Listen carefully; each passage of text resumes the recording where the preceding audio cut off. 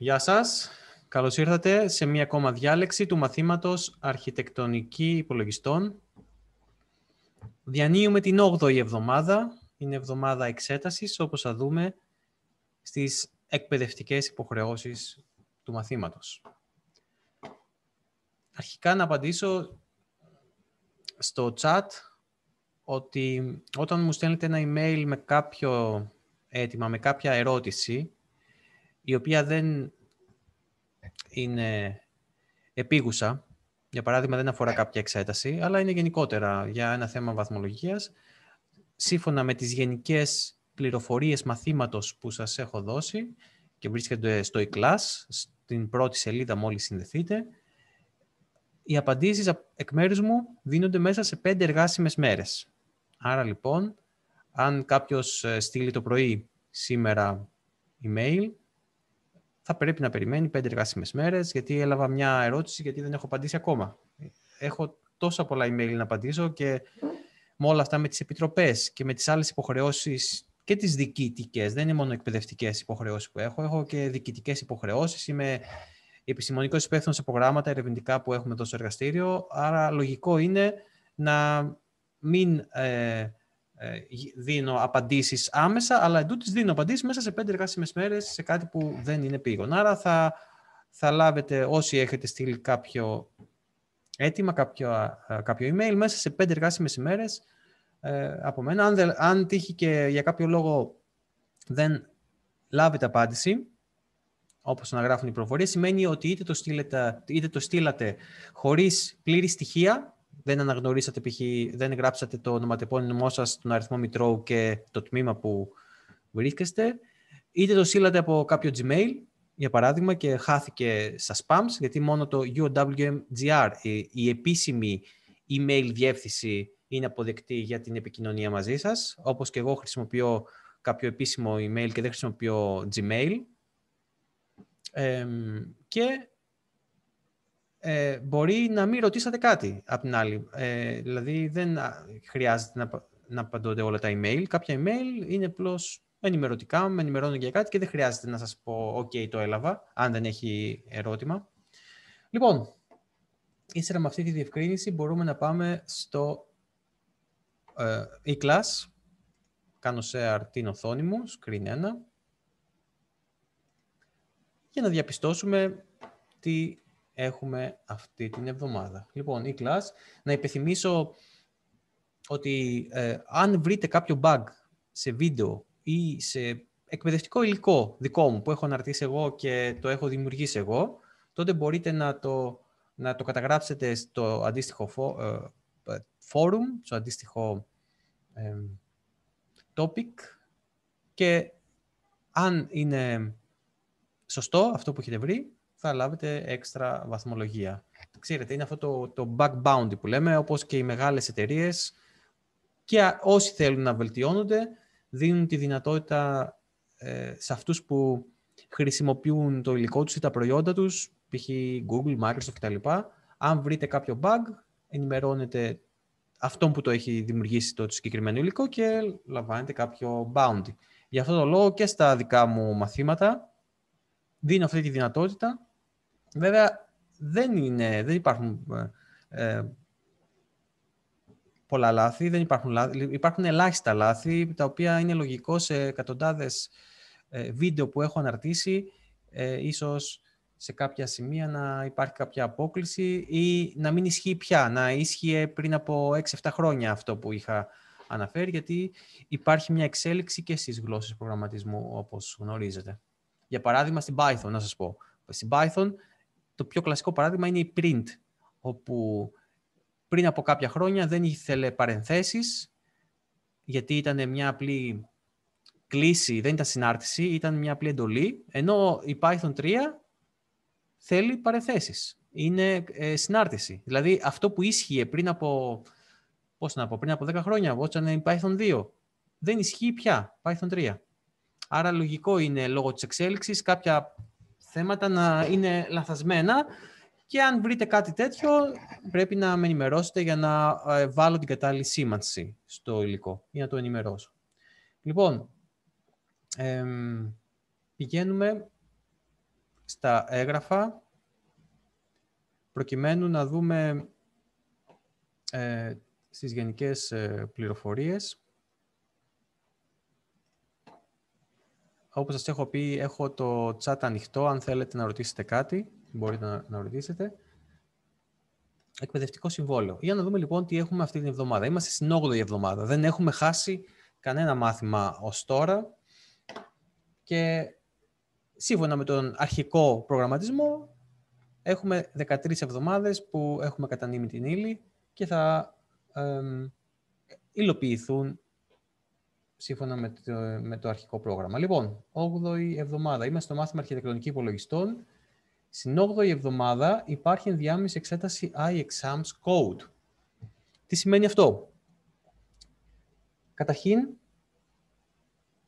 βλέπουμε ότι οι φοιτητές που δεν θα υλοποιήσουν δύο ή παραπάνω MPS έχουν εξέταση κώδικα. Κάποιοι από εσάς, λοιπόν, ξέρετε ποιοι, σύμφωνα με το iGrades, έχετε υποχρεωτική εξέταση κώδικα. Θα πρέπει, λοιπόν, όταν συνδεθείτε αύριο, Τετάρτη, για την εξέταση κώδικα, καταρχήν να μην κάνετε άλλη εξέταση. Θα πρέπει να κάνετε εξέταση κώδικα. Αν εσείς μεταβείτε σε δωμάτιο για εξέταση πολλαπλών ερωτήσεων, είναι πρόβλημα για σας, να το ξέρετε αυτό. Άρα έχετε εξέταση κώδικα. Δεύτερον, έχουμε εξέταση με iExams για τους υπολείπους.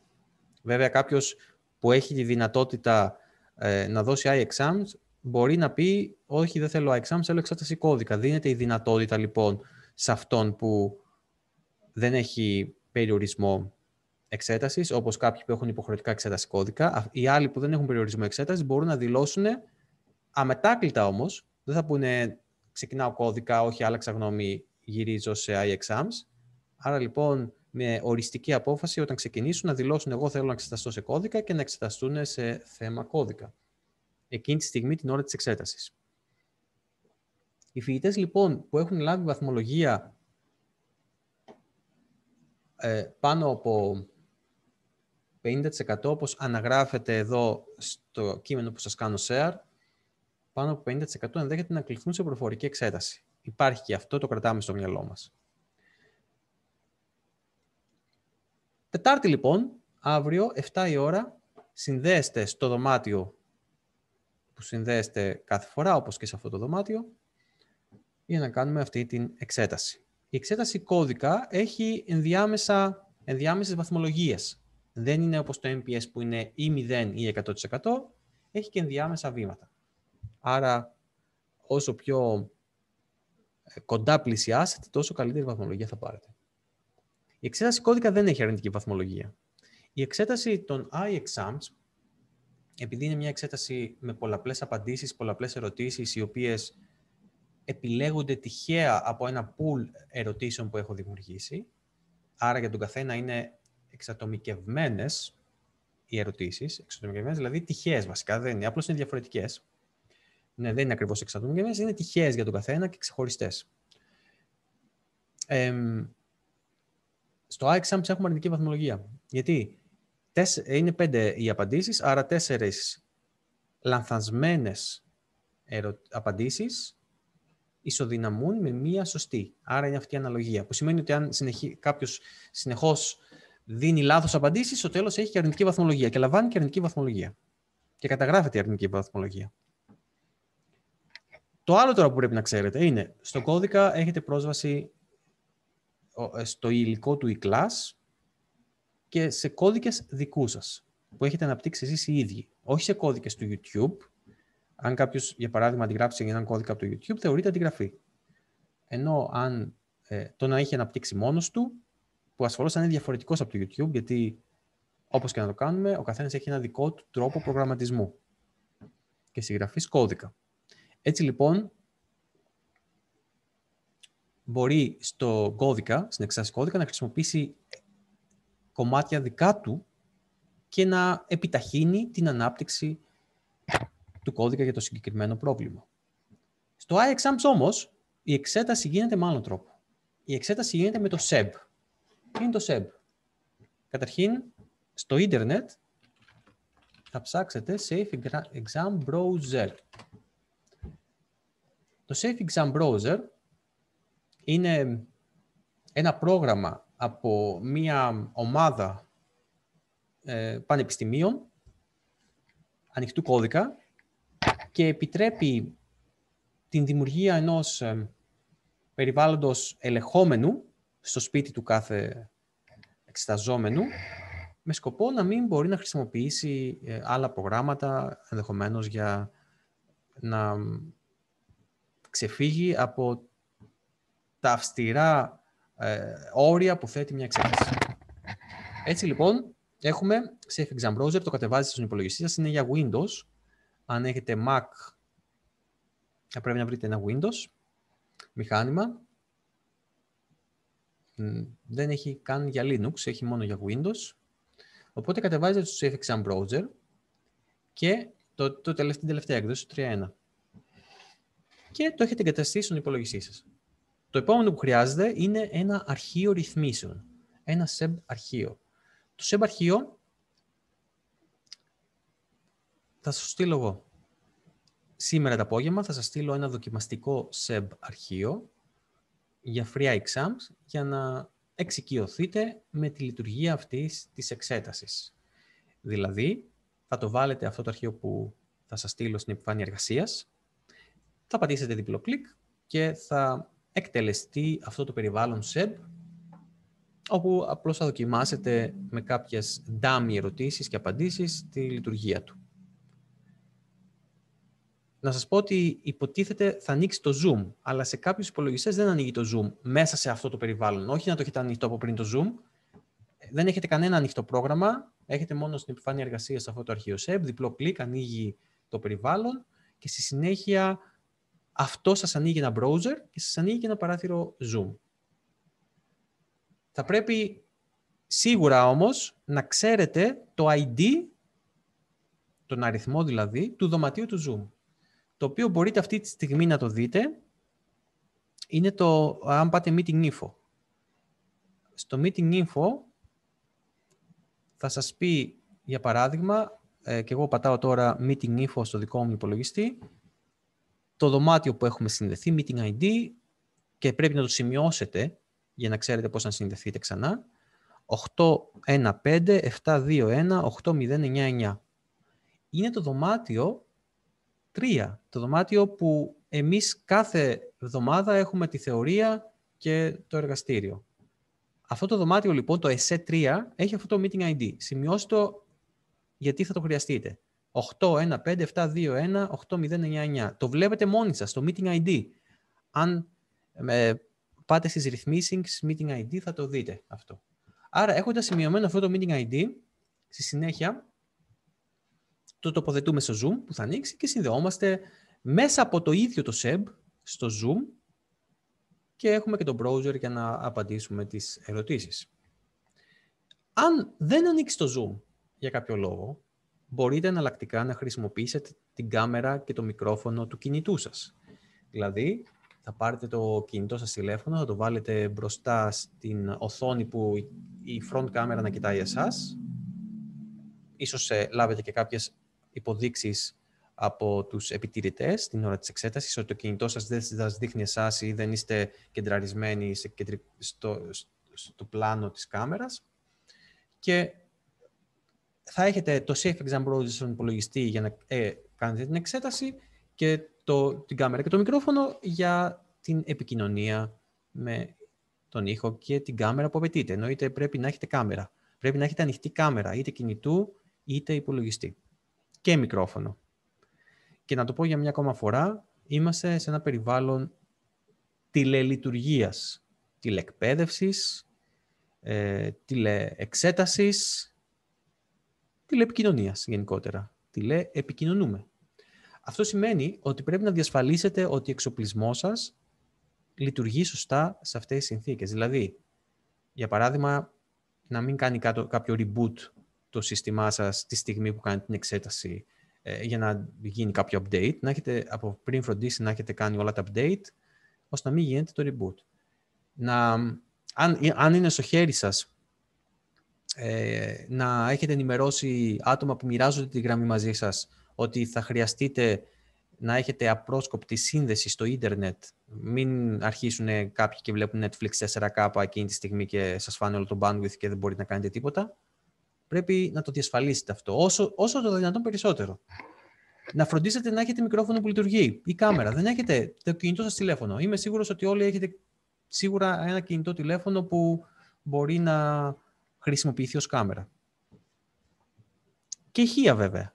Δηλαδή, μια δικαιολογία που μου είχαν πει κάποιοι που δεν ξέρω κατά πόσο είναι ορθή, αλλά εν ε, είπα ότι δεν πρέπει να χρησιμοποιηθούν τέτοιες δικαιολογίες, ότι ε, δεν είχα ηχεία. Δηλαδή, κάποιος συνδέθηκε στην εξέταση και ανάφερε, ε, μου ανέφερε ότι δεν είχε ηχεία και δεν άκουγε τις υποδείξεις των επιτηρητών. Αυτό δεν είναι σωστό, γιατί οι επιτηρητές μπορούν να πούνε ο τάδε εξεταζόμενος πρέπει να μετακινήσει την κάμερα γιατί δεν φαίνεται. Άρα το να μην έχω ηχεία και να έρχομαι στην εξέταση θα αποβεί εις βάρος σας γιατί δεν πληρείτε τις απαιτήσεις που έχει θέσει το Πανεπιστήμιο. Ξέρετε, όπως και στην προηγούμενη εξεταστική, η ίδια Αντιπριτανία Ακαδημαϊκών Θεμάτων είχε στείλει τις προδιαγραφές που απαιτούνται να έχουν οι φοιτητές για να γίνεται εξέταση. Και μέσα σε αυτές ήταν και τα ηχεία. Άρα λοιπόν υπάρχει αυτό το πρόβλημα που πρέπει να ε, το λύσετε, αν το έχετε. Safe Exam Browser, το αρχείο λοιπόν σας το στέλνω το απόγευμα και κάνετε αυτή την εξέταση. Και σε δύο εβδομάδες δεν έχουμε τίποτα, γιατί είναι η δέκατη εβδομάδα, αλλά στη δωδέκατη, δηλαδή τώρα είμαστε στην 8η εβδομάδα, 9, 10, 11, 12, σε τέσσερις εβδομάδες έχουμε εξέταση και στην πέμπτη εβδομάδα ολοκληρώνεται με επιτυχία ε, το εργαστήριο και το μάθημα και το εξάμεινο γενικότερα και κλείνουμε το μάθημα αρχιτεκτονική υπολογιστών. Λοιπόν, αυτές είναι οι πληροφορίες από το e-class. Οπότε μπορώ να συνεχίσω. Ε, και θα ήθελα... Ακούω, ναι, έλα, Γιάννη. Ναι, ναι, Γιάννη. Ε, ε, όσον αφορά την εξέταση Σεπτεμβρίου, ε, για το εργαστήριο τι δίνουμε, γιατί φαντάζομαι τα MPS δεν θα τα ξαναδώσουμε. Ναι. Θα δώσουμε μόνο ένα κομμάτι. Ωραία, λοιπόν, να το, να το ξαναπώ. Ε, ε, φαντάζομαι εννοείς Σεπτεμβρίου την, του 2021, ε, εφόσον είμαστε όλοι καλά και τα λοιπά. Ε, ναι, λοιπόν, ναι. στην εξεταστική λοιπόν του Σεπτεμβρίου υπάρχει εξέταση της θεωρίας, όπου στη θεωρία έχουμε δυνατότητα, ε, ε, ε υλοποιείται ως εξής. Είναι ακριβώς όπως και η εξεταστική Φεβρουαρίου. Δηλαδή, οι πέντε μονάδες κατανείμονται σε δύο μονάδες που είναι δύο ασκήσεις, δηλαδή μία μονάδα η κάθε άσκηση. Ασκήσεις όπως αυτές που βλέπουμε στη θεωρία, τέτοιου τύπου ασκήσεις, που σε μισή παράγραφο λύνονται, αρκεί να μπορέσεις να κατανοήσεις ε, αυτά που ζητάει. Και υπάρχουν και στο YouTube αρκετές λιμένες ασκήσεις. Άρα λοιπόν δύο μονάδες είναι δύο ασκήσεις και οι τρεις μονάδες είναι οι ερωτήσεις ε, πολλαπλής επιλογής όπως ακριβώς το iExams που θα δούμε αύριο Τετάρτη. Μόνο που θα είναι για θεωρία. Τώρα, για το εργαστήριο, να δούμε οι πέντε μονάδες τι γίνεται. Σε περίπτωση λοιπόν κάποιος που έχει κοπεί στο εργαστήριο, έρχεται να δώσει έναν κώδικα, μια εξέταση λοιπόν, κώδικα, υλοποίηση ενός κώδικα εφόληση ύλης. Δηλαδή θα επιλεχθεί ένα θέμα από τα πουλ των ερωτήσεων και θα ε, βαθμολογηθεί αυτό το θέμα και όσο έχει υλοποιήσει, τόσο τις 100 των 5 μονάδων θα πάρει. Για παράδειγμα, αν το κάνει 50%, 50% στις 5 μονάδες, 2,5 μονάδες. Θα λάβει 2,5 μονάδες εργαστηρίου. Και εφόσον, όπως ξέρετε, στο τέλος κοιτάμε ε, αν έχουμε προβιβάσιμο βαθμό στη θεωρία, προβιβάσιμο βαθμό στο εργαστήριο, προβιβάσιμο βαθμό στο μάθημα και ε, παρουσίες. Αν λοιπόν όλα αυτά τα κριτήρια είναι OK, τότε περνάει το μάθημα. Να επιθυμίσω ότι μπορείτε να ζητήσετε κράτηση βαθμολογίας ε, θεωρίας ή εργαστηρίου για να δώσετε μόνο το ένα από τα δύο κομμάτια. Δηλαδή, αν τώρα το Σεπτέμβριο περάσετε το εργαστήριο, αλλά κοπείτε θεωρία, μπορείτε να εξεταστείτε μόνο θεωρία. Αν ε, περάσετε θεωρία, αλλά κοπείτε εργαστήριο, μπορείτε να εξεταστείτε μόνο στο εργαστήριο το Σεπτέμβριο. Και ε, η μέρα της εξέτασης του Σεπτεμβρίου είναι πάντα, ε, της, του εργαστηρίου είναι πάντα η ίδια ημέρα που είναι και εξέταση της θεωρίας. Και δεν χρειάζεται να δείτε στο πρόγραμμα κάποια άλλη μέρα να λέει εξεταστική εργαστηρίου, θα λέει μόνο εξεταστική αρχιτεκτονική υπολογιστών. Και αν θέλετε να δώσετε εργαστήριο, μου στέλνετε email και σας λέω τι ώρα θα γίνει η εξέταση του εργαστηρίου. Ε, Γιάννη, νομίζω σου απάντησα. Ναι, πλήρες, πλήρες. Ωραία. Λοιπόν, και μια που μιλάμε για εργαστήριο, ας δούμε κάποιες ε, ασκήσεις. Ναι, ε, για, α, για μια ερώτηση που έλαβα, αν υπάρχει δείγμα, δείγμα ερωτήσεων δεν υπάρχει. Υπάρχει μόνο δοκιμαστική εξέταση με ντάμι ερωτήσεις, γιατί όπως έχουμε ε, συζητήσει γενικότερα οι, οι καθηγητές ε, στο Πανεπιστήμιο για την απομακρυσμένη εξέταση, είπαμε να μην δίνουμε ε, πρόσβαση στις ε, ερωτήσεις, γι' αυτό και άλλοι καθηγητές δεν το κάνουν αυτό, γιατί ε, είναι που είναι αρκετά ε, δύσκολο να έχουμε μια όσο δυνατόν ε, αντικειμενική εξέταση. Αν δίνουμε και το δείγμα, τότε ε, μπορεί να γίνει από κάποια άτομα διαρροή ε, πληροφορίας και γενικότερα να χρησιμοποιηθούν τεχνικές που θα έπρεπε να τις, να τις προσέχουμε. αν ήμασταν από κοντά, εδώ, διαζώσεις, θα δινόταν οι free exams όπως γινόταν παλιά, αλλά τώρα λόγω απόστασης δεν μπορεί να γίνει αυτό. Άρα λοιπόν το μόνο δείγμα θα είναι οι dummy ερωτήσεις που θα δοκιμάσετε ότι λειτουργεί το Safe Exam Browser στον υπολογιστή σας. Δεν θα είναι ερωτήσεις. Ε, αλλά όποιος έχει δουλέψει στα εργαστήρια καφυλάδια, όποιος έχει ε, γράψει κώδικα δηλαδή και έχει κατανοήσει τον τρόπο που γράφουμε assembly, δεν θα έχει πρόβλημα να, να απαντήσει. Βέβαια, μην ξεχνάτε ότι έχετε και τη δυνατότητα code. Άρα, λοιπόν, κάποιος ε, που πιστεύει ότι με τις ερωτήσεις ίσως δεν τα πάει καλά, μπορεί κατευθείαν να δηλώσει όχι ότι θέλει εξέταση κώδικα. Άρα, εξέταση κώδικα που τους κώδικες τους ξέρετε, να, να σας δείξω ένα ακόμα θέμα που μπορεί να κληθείτε να υλοποιήσετε. Είμαστε στην 8η εβδομάδα, άρα έχουμε θέματα από την πρώτη εβδομάδα ως και την 8η. Και τώρα βλέπουμε ένα θέμα από την 8η εβδομάδα. Για να δούμε αυτή την εκφώνηση. Ε, έχουμε virtual περιφερειακό. Τι είναι το virtual περιφερειακό, ας σας δείξω λίγο. Στο NEMU, βλέπετε εδώ το NEMU, τώρα βέβαια ε, δεν έχουμε καθόλου κώδικα, αλλά μόλις πατήσω Emulate ανοίγει αυτή η οθόνη και μπορούμε να, να ανοίξουμε ένα virtual περιφερειακό. Στο virtual περιφερειακό είναι τα traffic lights, ας πούμε το συγκεκριμένο. Και μόλις ενεργοποιήσουμε, θα δείτε ότι έχει ενεργοποιηθεί αυτό το, ε, αυτό το παράθυρο, το οποίο βλέπετε εδώ κάποιες τιμές και κάποια νούμερα. Βλέπετε εδώ 0, 1, 2, 3, 4, 5 κτλ. Και εδώ είναι τα bit ελέγχου. Σε αυτό λοιπόν το virtual περιφερειακό ελέγχουμε αυτούς τους σηματοδότες, δηλαδή δείχνουμε πώς γίνεται η διασύνδεση της assembly με τον εξωτερικό φυσικό κόσμο, βέβαια με ένα ε, περιφερειακό που προσωμιώνει μια τέτοια κατάσταση.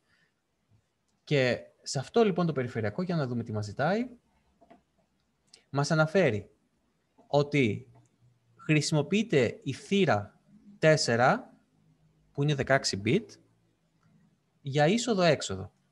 Δηλαδή, μπορούμε να γράψουμε ή να διαβάσουμε από αυτή τη θύρα. Ε, συγκεκριμένα θέλουμε να γράψουμε πιο πολύ, γιατί είναι φώτα και θέλουμε να ε, ενεργοποιούμε ή να κλείνουμε τα φώτα. Βέβαια, αν θέλουμε να διαβάσουμε, θα διαβάσουμε για να δούμε τι τιμή έχει ο σηματοδότης, αλλά δεδομένου ότι εμείς γράφουμε αυτές τις τιμές, ξέρουμε αμέσως τι τιμές έχουμε γράψει. Έχουμε λοιπόν το εξής πρόβλημα. Είσοδος-έξοδος, περιφερειακό traffic light. Δημιουργείται ένα μενού που θα λέει α, β, γ, δ, α, σηματοδότηση 1, β, σηματοδότηση 2, γ, σηματοδότηση 3 και 4. 1, 2, 3, 4. Και μία άλλη συνάρτηση. Γενικά οι συναρτήσεις είπαμε πρέπει να είναι διαφανείς. Οπότε μόλις σας ζητείτε συνάρτηση εννοείται ότι θα πρέπει να φροντίζετε για τη διαφάνεια της συνάρτησης και να μην μολύνει το περιβάλλον ελέγχου. Στο σηματοδότη λοιπόν αυτό θα έχει τρεις λειτουργίες: πράσινο, πορτοκαλί, κόκκινο. Ο χρήστη θα ενεργοποιεί και θα απενεργοποιεί του σηματοδότες. Δηλαδή, για παράδειγμα, θέλουμε, ας ε, σημειώσω, έστω αυτό είναι ο ένας, ο σηματοδότης 1. Θέλουμε στον ένα σηματοδότη να ανάψει το κόκκινο. Το κόκκινο είναι αυτό. Για να δούμε τη λειτουργικότητα, πώς θα το υλοποιούσαμε, για να σκεφτούμε τώρα. Ε, λοιπόν, ξέρουμε ότι η θύρα 4 είναι η θύρα που θα πρέπει να γράψουμε κάτι. Ωραία. Γνωρίζουμε την κατάσταση ε, που έχουμε τα bit. Δηλαδή, τα bit, όπως βλέπετε, είναι 0 ή 1. Άρα, θέλουμε σε αυτό το σηματοδότη να σβήσουμε όλα τα άλλα τα bit και να βάλουμε ένα σε αυτό εδώ πέρα. Για να δούμε. Το 0, κοιτάξτε λίγο. Αυτά τα τρία πρώτα bit καθορίζουν την κατάσταση του αυτού του σηματοδότη. Στη θέση 0 είναι 0 και είναι το κόκκινο. Στη θέση 1 ε, είναι το κίτρινο, είναι σβηστό και για την ώρα έχει ένα-ένα εδώ πέρα. Θέλουμε λοιπόν αυτό, όταν ο χρήστης επιλέξει σηματοδότης 1 και ότι θέλουμε να γίνει κόκκινο, αυτά εδώ θα πρέπει να, ε, να μεταφραστούν ότι τα τρία αυτά πρώτα bit πρέπει να πάρουν την εξής τιμή. Ό,τι και να είναι, δεν ξέρουμε, δεν μας ενδιαφέρει, χ, χ, χ, ό,τι και να είναι, πρέπει να γίνουν 0, 0, 1. Γιατί αυτό το 2 είναι το πράσινο. Αυτό θέλουμε να γίνει 0. Αυτό θέλουμε να είναι 0 και αυτό σβηστό. Και αυτό θέλουμε να γίνει 1, να ανάψει κόκκινο. Καταλαβαίνετε λοιπόν ότι ό,τι και να γίνει θέλουμε να φτάσουμε να έχουν αυτή την τιμή. Πώς μπορούμε να το πετύχουμε αυτό; Ή με απλά λόγια, έχουμε έναν αριθμό από χ, χ, χ bit, διάφορα bit, και θέλουμε από όλα αυτά τα bit, τα τρία τελευταία, αυτά ασφαλώς δεν θα τα αλλάξουμε, γιατί το αναφέρει εδώ. Προσοχή λέει, δεν θα τροποποιεί, δεν θα τροποποιηθεί άλλο σηματοδότης. Αυτά εδώ θέλουμε να καταλήξουν σε 0-0-1. Πώς μπορούμε να το κάνουμε αυτό; Για να σκεφτούμε. Αυτό, έστω αυτό βρίσκεται στο AX. Λοιπόν, πρέπει να θυμηθούμε ψηφιακή σχεδίαση. Πρέπει να θυμηθούμε πώς μπορούμε να εντάξουμε bit Άρα να χρησιμοποιήσουμε κατάλληλη μάσκα σε μία, ε, σε μία σειρά από bit. Ας το δούμε λίγο διαφορετικά. Πώς μπορούμε να το κάνουμε. Καταρχήν, αυτό που μπορούμε να κάνουμε, για να, δούμε, για να, για να χρησιμοποιήσουμε λογικές πράξεις, εμείς γνωρίζουμε ότι είναι η end και η or. Ας δούμε λοιπόν τι μπορούμε να κάνουμε με αυτά τα δύο. Κοιτάξτε λοιπόν τι μπορούμε να κάνουμε. Η τιμή ε, η τιμή αυτή λοιπόν είναι η 1.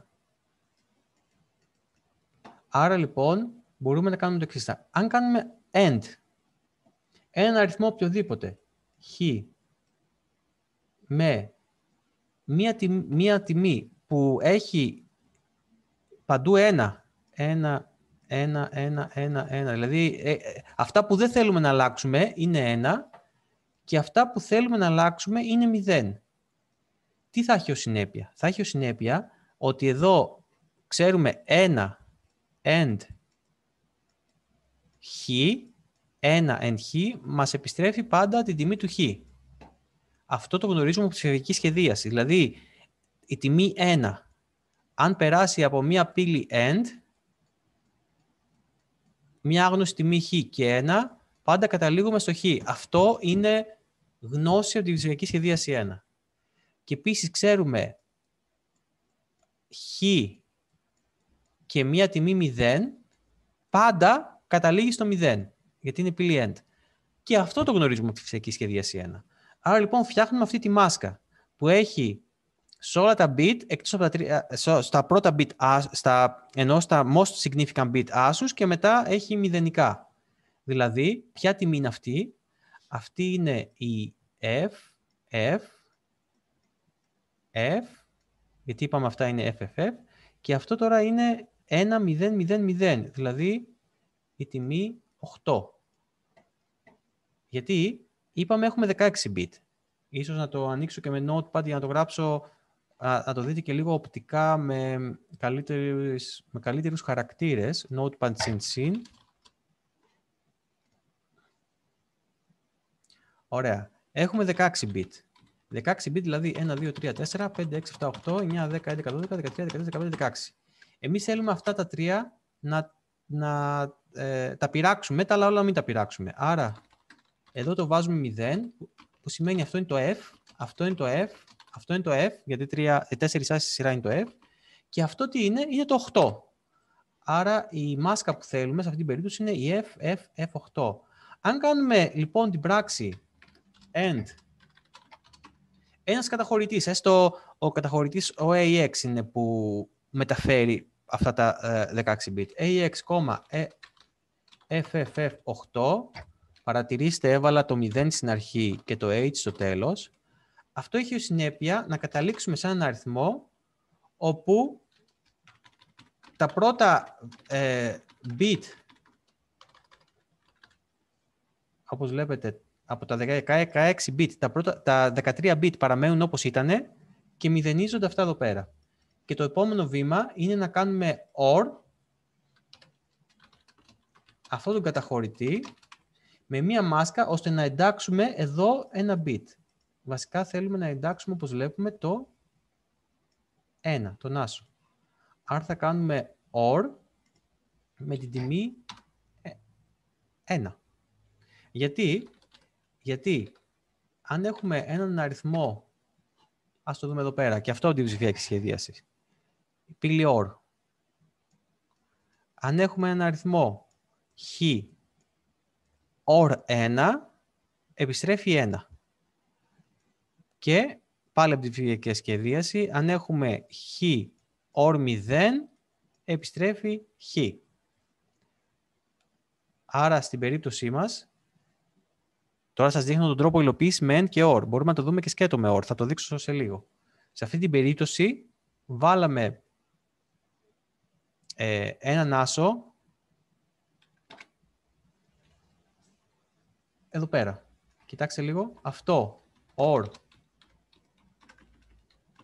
1, το οποίο 1 θα μπει εδώ πέρα γιατί είναι 1, έχει ως συνέπεια να καταλήξουμε πάλι στον αρχικό αριθμό στις πρώτες 13 θέσεις και μετά να έχουμε εδώ 1. Άρα ε, με αυτές τις δύο εντολές, στον πρώτο σηματοδότη ανεργοποιήσαμε μόνο το κόκκινο φως. Εναλλακτικά μπορούμε να το κάνουμε κατευθείαν με μία εντολή OR, γιατί τι θέλουμε; Θέλουμε από τον αριθμό που θα μας έχει δώσει να καταλήξουμε στον αριθμό όπου είναι αυτό. Βέβαια τώρα με μία εντολή OR μπορούμε να βάλουμε bit, αλλά δεν μπορούμε να μηδενίσουμε bit. Άρα πάλι θα χρειαστούμε εντολή end σε αυτή την περίπτωση. Γιατί εδώ μηδενίζουμε ό,τι τιμή και να έχει μηδενίζεται. Άρα δεν μπορούμε να χρησιμοποιήσουμε μόνο μια εντολή OR, άρα σημειώστε καλύτερα μόνο την προηγούμενη τεχνική. Στην τεχνική αυτή λοιπόν με, το, ε, με αυτό εδώ πέρα είναι μια μάσκα που δημιουργήσαμε συγκεκριμένα με σκοπό να μηδενίσουμε τα τρία τελευταία bit. Γι' αυτό είναι αυτή η μάσκα. Και στη συνέχεια εντάξαμε με το OR το bit 1, άρα καταλήξαμε, να το δείξω εδώ πέρα, στην τιμή όπου έχουμε άσο στο τέλος. Και αυτό, σύμφωνα με αυτό το περιφερειακό, από τη στιγμή που έχουμε άσο σε αυτή εδώ τη θέση, άναψε το κόκκινο και έσβησε τα υπόλοιπα. Άρα, σε περίπτωση που επιλέξεις σηματοδότη 1 κόκκινο, η μάσκα είναι αυτή. Ε, αυτή είναι η λειτουργία. Και ομοίως και για τις άλλες λειτουργίες. Πρέπει να βρούμε λοιπόν αυτή την ακολουθία. Μπορεί να γίνει και με XOR. Ε, με XOR, ε, για να σκεφτούμε λίγο, η λειτουργία XOR σημαίνει ε, αν έχουμε XX, XOR, ναι, δεν μπορούμε να το κάνουμε με XOR, Γιατί, ας πούμε, έχουμε μια άγνωστη μυχή. Φαντάζομαι, αντί για end, αντί για end να βάλουμε XOR. Μήπως μπορείς να μου πεις ε, ποια μάσκα θα μπορούσαμε να χρησιμοποιήσουμε, γιατί προσπαθώ τώρα να βρω ποια μάσκα θα μπορούσαμε να κάνουμε. κάνουμε χ, x δηλαδή, XOR 1, αυτό δεν έχουμε στάνταρ αποτέλεσμα, γιατί αν το χ είναι 1, τότε θα μας βγάλει 0. Δηλαδή, εξαρτάται από την τιμή του χ. Εκτός αν ε, χρησιμοποιήσω μάσκα για τα τελευταία bit. Δυσκολεύουμε πάρα πολύ τη ζωή μας. Δεν, δεν βλέπω κάποια εμφανή λύση με το XOR. Αν βρεις βέβαια καμία, πες μου. Και θα πάρεις και 0,25, γιατί θα είναι αρκετά εφάνταστη λύση. Δηλαδή, ε, αντί για end, να βάλουμε XOR. Αν τη βρεις, πες μου. Πάντως, ε, ο de facto τρόπος είναι ε, ο συνδυασμός end και or, όχι XOR. Θέλουμε λοιπόν να καταλήξουμε, υπενθυμίζω, από μία άγνωστη σειρά από bit σε μία ε, πάλι σειρά που δεν μας ενδιαφέρουν τα άλλα bit, αλλά έχουμε πειράξει μόνο τα τρία τελευταία bit. Αυτή είναι η διαδικασία που γίνεται, end και or. Ε, σχετικά με την αυριανή εξέταση, συνήθως ε, μια ώρα κρατάει η εξέταση, αλλά περισσότερες προφορίες θα δείτε αύριο. Έτσι κι αλλιώς, στο πρόγραμμα είναι δύο ώρες γραμμένο ότι έχετε εργαστήριο. Άρα, σε περίπτωση που αποφασίσουμε να έχετε δύο ώρες εξέταση, θα πρέπει να έχετε δύο ώρες ελεύθερες για την εξέταση. Άρα, ε, πάντως, το ελάχιστο θα είναι μια ώρα, το μέγιστο δύο ώρες. Να το έχετε υπόψη. Αυτό λοιπόν είναι το περιφερειακό, αυτή η άσκηση του περιφερειακού. Πάμε να δούμε και το άλλο, πάλι ε, περιφερειακό traffic lights. Εδώ έχουμε demo, δηλαδή ανάβει μια το ένα, μια το άλλο κτλ. Είναι το, τα γνωστά χριστουγεννιάτικα φωτάκια. είναι και της εποχής. Θα μπορούσατε λοιπόν πράγματι, και είναι και ωραία άσκηση, να, να έχετε μια διαδοχική σειρά από μάσκες, να ανάβει ε, κόκκινο, κόκκινο, κόκκινο, κόκκινο, πράσινο, πράσινο, πράσινο, πράσινο, και μάλιστα άμα καταφέρετε και να παίζετε και μουσική ε, τη Χριστουγεννιάτικη, τότε θα ήταν αρκετά ενδιαφέρον. Μου βάζετε ιδέες κιόλας, θα το δούμε. Πάντως μπορείτε, ξέρετε, με το PC Speaker να παίξετε μουσική. Ε, δηλαδή, στους ε, υπολογιστές της εποχής αυτής που είχαμε 80-86, υπήρχε τρόπος, ε, χωρίς να έχουμε κάρτα ήχου, μόνο με το speaker, με κατάλληλη παλμοδιαμόρφωση, να παίξουμε μουσικές. Το παλμοδιαμόρφωση είναι το PWM, Pulse Width Modulation. Και μπορούσαμε λοιπόν ε, να ελοπίσουμε το απλό beep, δηλαδή του speaker, μέσα που έχει ο κάθε υπολογιστής, που είναι το beep που κάνει όταν ξεκινάει και όλα βαίνουν καλώς, με αυτό μπορεί κάποιος να παίξει μουσική. Λοιπόν, άλλο περιφερειακό είναι το θερμόμετρο, που ενεργοποιείται το heater, ε, ε, ανεργοποιείται λοιπόν ο καυστήρας, σβήνει ο καυστήρας, εκτυπώνεται θερμοκρασία. Κοιτάξτε εδώ πώς χρησιμοποιείται αυτό το περιφερειακό. Στη θύρα 127, αν γράψουμε το 1, ανάβει το heater. Αν γράψουμε το 0, σβήνει ο καυστήρας. Και στη θύρα 125 διαβάζουμε την τρέχουσα θερμοκρασία. Αυτό το εργαστήριο το ιδιαίτερο είναι ότι διασυνδέει τον φυσικό κόσμο με τον κόσμο τον ψηφιακό. Και είναι προήμιο για να ασχοληθεί κάποιος μετά με ενσωματωμένα συστήματα σε ανώτερο εξάμεινο. Αν επιλέξετε το μάθημά μου, υπάρχει το μάθημα επιλογής σε ενσωματωμένα συστήματα που χρησιμοποιούμε Arduino, Raspberry, Beagleboard, FPGA και, άλλα, και άλλες αναπτυξιακές πλακέτες και δημιουργούμε τέτοια πραγματικά project.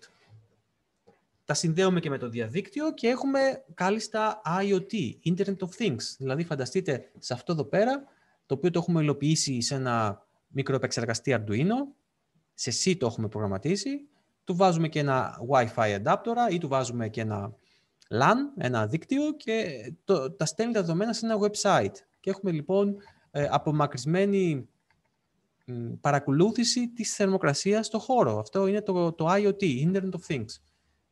Και στο site μου, και στο ARC δηλαδή, μπορείτε να δείτε πάρα πολλές διπλωματικές εργασίες που έχουν δημιουργηθεί σε IoT. Μάλιστα, Κάποιες έχουν βραβευτεί. Από τα πρώτα χρόνια ήταν το έξυπνο θερμοκήπιο που ε, είχα, που είχα επιβλέψει, η οποία αυτή η διπλωματική εργασία έχει πάρει και πόσα βραβεία, γιατί ήταν το 2010 που στην Ελλάδα ελάχιστοι είχαν ασχοληθεί με το IoT. Βέβαια, πια σήμερα όλοι ασχολούνται με IoT, αλλά εντούτοις το IoT είναι η κλασική θεωρία των ενσωματωμένων συστημάτων. Αυτά ε, τα ενσωματωμένα συστήματα που βρίσκονται παντού γύρω μας και έχω γράψει και δύο βιβλία για αυτό το θέμα, για ενσωματωμένα συστήματα και όποιος ενδιαφέρεται να αναλάβει κάποιο τέτοιο project ή απλώς μπορεί να θέλει να μάθει απλώς κάτι παραπάνω, μπορεί να έρθει σε επικοινωνία μαζί μου για να το βοηθήσω σε οτιδήποτε θελήσει για να κάνεις IoT. Λοιπόν, άλλη λειτουργία, περιφερειακό θερμόμετρο. Βλέπετε λοιπόν πόσα θέματα διαφορετικά υπάρχουν. Και μάλιστα μπορούμε να συνδεθούμε εδώ στο, στα virtual devices. Κοιτάξτε, υπάρχει LED display. Για παράδειγμα, το βλέπετε εδώ, να αναβοσβήνουν τα LED. Ε, printer. Να εκτυπώσουμε κάτι. Σας λέει εδώ στείλε δεδομένα στην 130D πόρτα. Για να δούμε τι άλλο έχει. Αυτό το symbol τι είναι; Α, τίποτα. Δεν έχει κάποιο, κάποια γραφική διαπαφή. Stepper motor. Πώς να χειριστούμε ένα κινητήρα. Πάντως να ξέρετε και στο μάθημα σας που συστήματα, δεν γράφουμε assembly βέβαια, σε C προγραμματίζουμε, αλλά και εκεί έχουμε να οδηγήσουμε κινητήρες, να φτιάξουμε κάποια, κάποια ρομποτικά συστήματα ή να χειριστούμε το βραχίωνα, για παράδειγμα, που έχουμε εδώ στο εργαστήριο και το καθεξής. Traffic lights, το VGA state, ε, σου αναγράφει την κατάσταση της οθόνης ε, και κάποιος αν θέλει να τα χειριστεί αυτά πρέπει να πάει από το help στο documentation και καλό είναι να πειραματιστεί λίγο με αυτά τα virtual devices, προκειμένου να ε, δει πώς μπορεί να τα χρησιμοποιήσει. Ας ανοίξω το, το Edge, γιατί όχι. Για να το δούμε πώς ανοίξει. Λοιπόν, σε όλα αυτά χρησιμοποιούμε in και out, τις εντολές της assembly. In για να διαβάσουμε κάτι από συγκεκριμένη διεύθυνση και out.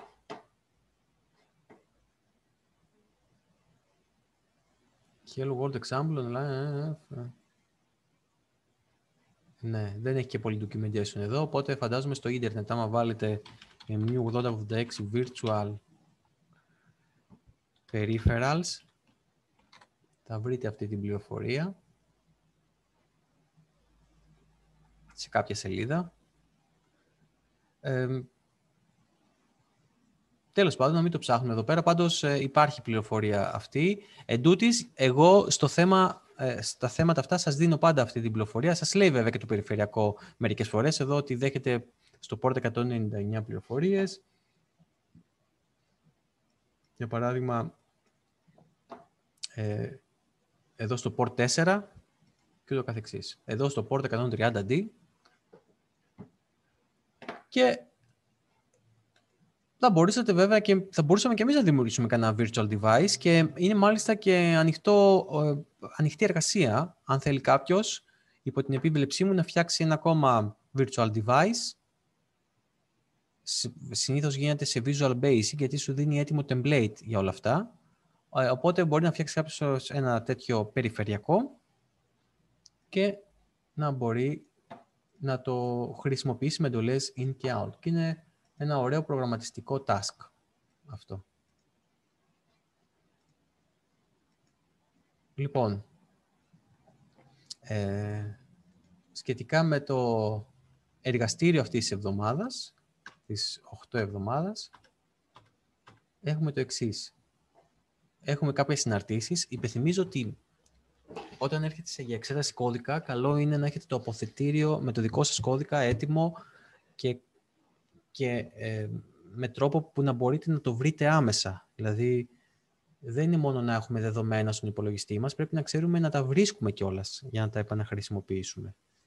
Εδώ λοιπόν σας ε, αναφέρω τις βασικές συναρτήσεις που καλό είναι να έχετε και να υλοποιήσετε στο σύστημά σας, προκειμένου να έχετε την επικοινωνία με τον έξω κόσμο και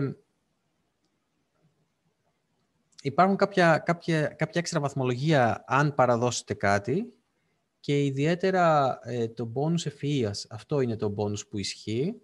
που σας δίνει μία μονάδα αν φτιάξετε ένα ρομπότ που μπορεί να περιηγηθεί σε ένα χάρτη και να, βγει, να βρει τέλος πάντων το στόχο του που είναι μια λάμπα, να ανάψει τη λάμπα μέσα σε εύλογο χρονικό διάστημα. Δηλαδή είναι ένα bonus που συνδέεται με τη ρομποτική και δείχνει πώς η assembly μπορεί να χρησιμοποιήσει, ε, μπορεί η assembly να χρησιμοποιηθεί σε ρομποτική. Και αυτό το bonus το έχουν κάνει συγκεκριμένα από το 2010 τρία άτομα όλο και όλο. Λίγοι το έχουν καταφέρει. Γιατί εννοείται απαιτείται πολύ δυνατός προγραμματισμός. Ε, και η παράδοση είναι στο τέλος του εξαμήνου. Δηλαδή στη 13η εβδομάδα, μετά τις γιορτές. Αν θελήσετε λοιπόν μέσα στις γιορτές, μια που θα είστε μέσα όπως όλοι μας, όπως φαίνεται και δεν θα είμαστε έξω, τι καλύτερο να κάνετε από το να προγραμματίζετε ρομπότ να γυρίζουν σε ένα χάρτη ψάχνοντας μια λάμπα να την ανοίξουν. Λοιπόν, σε αυτό το εργαστήριο επίσης ένα πρόγραμμα για χειρισμό μιας συσκευής. Virtual devices, ε, σας αναφέρει και συγκεκριμένα για το ρομπότ. Σε αυτό λοιπόν ε, αναγράφεται ότι η θύρα 9 είναι η θύρα εντολών, στέλνουμε εντολές στο ρομπότ, 10 είναι η θύρα δεδομένων, δηλαδή μας στέλνει δεδομένα το ρομπότ, τι ανακάλυψε μπροστά του, μπορεί να ανακαλύψει τείχο και να μας πει βρήκα τείχο, βρήκα πόρτα, βρήκα τίποτα, άρα είναι κενό το μέρος, μπορώ να πάω ίσια και το καθεξής. Τη θύρα 11 που είναι η θύρα κατάστασης. Και μας δείχνει εδώ τις τιμές, τις εντολές που μπορούμε να δώσουμε, στρίψα δεξιά ρομπότ, στρίψα αριστερά, ε, forward και το καθεξής μας επιστρέφει μια τιμή με το τι βρίσκει μπροστά ο ανοιχτευτής, αν είναι τείχος, αν είναι η λάμπα που είναι κλειστή, αν είναι η λάμπα που είναι ανοιχτή ε, και θύρα κατάστασης, αν εκτέλεσε μια εντολή με επιτυχία ή όχι. Άρα έχει τρεις θύρες. Ξεκινήσει από το template και υλοποιείται σιγά σιγά τις εντολές που ε, έχουμε το ρομπότ. Επίσης, επειδή είναι μια ηλεκτρομηχανική συσκευή το ρομπότ, ε, ε, θα, θα προσέξετε να βάλετε step delay ένα ή μεγαλύτερο. Γιατί αλλιώς δεν μπορεί να δέχεται συνεχόμενο εντελές και να τις εκτελεί. Δεν είναι όπως τα προγράμματα που κάνουμε. Δίνουμε εντολή και περιμένουμε να ολοκληρωθεί. Άρα έχει μια καθυστέρηση. Φτιάχνουμε λοιπόν αυτό το μενού. Βλέπετε εδώ που γράφει σε μία πόρτα την τιμή του AL, που είναι η εντολή που θέλουμε να δώσουμε. Βλέπετε εδώ κομμάτια κώδικα που θα σας βοηθήσουν στην υλοποίηση του ρομπότ. Ε, αυτό το bonus, το, το ένα, ε, επειδή δεν παραδίδεται άλλο, δεν, δεν ισχύει το συν 100% μονάδες, αφού έτσι δεν, δεν βαθμολογείται. Δεδομένου ότι 0 μονάδες παίρνει το προηγούμενο, το 100% του 0 πάλι 0 θα είναι. Ενώ το παρακάτω, αυτό δίνει ακριβώς μια μονάδα. Άρα λοιπόν κάποιος που θα υλοποιήσει το bonus ευφυΐας, δηλαδή θα φτιάξει ένα έξυπνο ρομπότ, που θα μπορεί να περιηγηθεί σε ένα χάρτη όπως από αυτόν. Δηλαδή βάζουμε κάπου το χάρτη και γυρίζει με στο χάρτη μόνο του, δηλαδή πατάμε ένα κουμπί και καθόμαστε και το κοιτάμε. Και βλέπουμε το ρομπότ, τις διαδρομές που κάνει και κατά πόσο θα καταφέρει να βρει τη λάμπα, αυτή είναι η λάμπα, αυτή είναι η ανοιχτή λάμπα, αυτή είναι η κλειστή λάμπα. Θα πώς, κατά πόσο θα βρει την κλειστή λάμπα και θα την ανάψει. Και αν το καταφέρετε αυτό και την ανάψει τη λάμπα, θα έχετε πάρει μια μονάδα βέβαια. Ε, εννοείται σε διάφορους χάρτες, όχι κατά λάθος ένα χάρτη πέτυχε. Δοκιμάστε το όχι με ενδεικτικό χάρτη, αλλά εγώ θα δημιουργήσω μετά δικούς μου χάρτες. Πρέπει ένα ρομπότ να μπορεί να ε, ανταπεξέλθει σε οποιοδήποτε συνθήκη περιβάλλοντος, όχι μόνο σε έναν απλό χάρτη.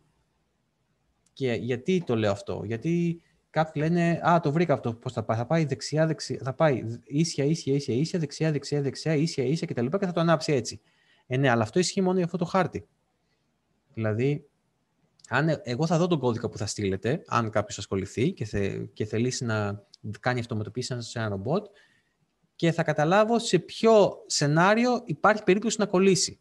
Για παράδειγμα, ε, κάποιος λέει θα πηγαίνω τείχο, τείχο, τείχο, τείχο συνέχεια και θα το βρω. Ναι, αν όμως βάλω ένα τελείως άδειο δωμάτιο, και πώς γίνεται αυτό; Κοιτάξτε λίγο, για παράδειγμα, στο ρομπότ.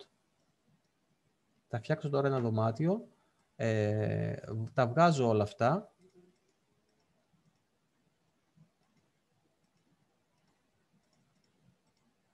Και βάζω μια λάμπα εδώ.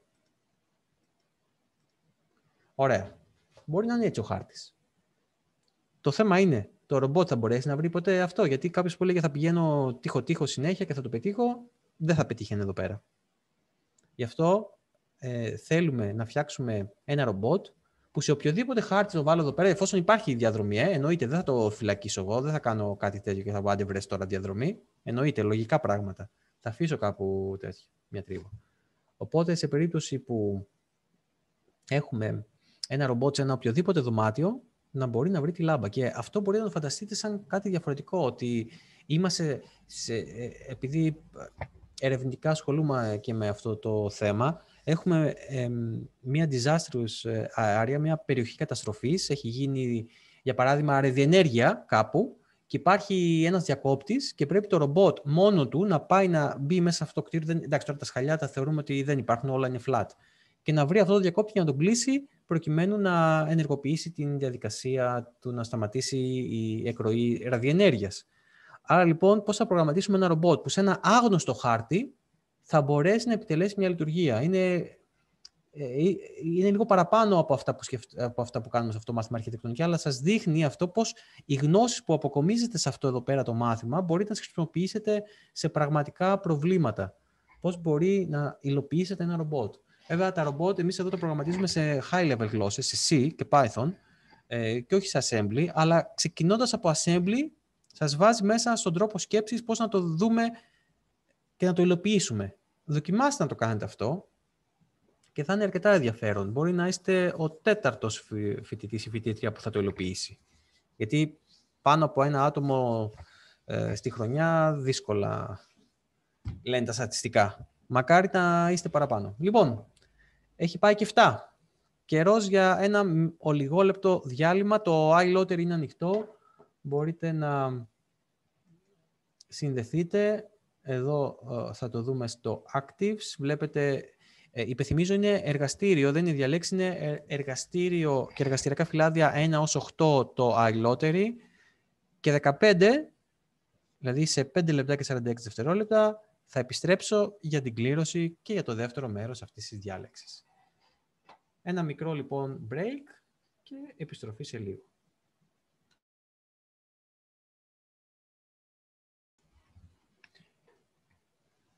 Είμαστε έτοιμοι λοιπόν να ξεκινήσουμε και τη δεύτερη ώρα. Ας δω κάποιες ε, ερωτήσεις. Το Safe Exam Browser αφορά όσους εξεταστούν στο iExams.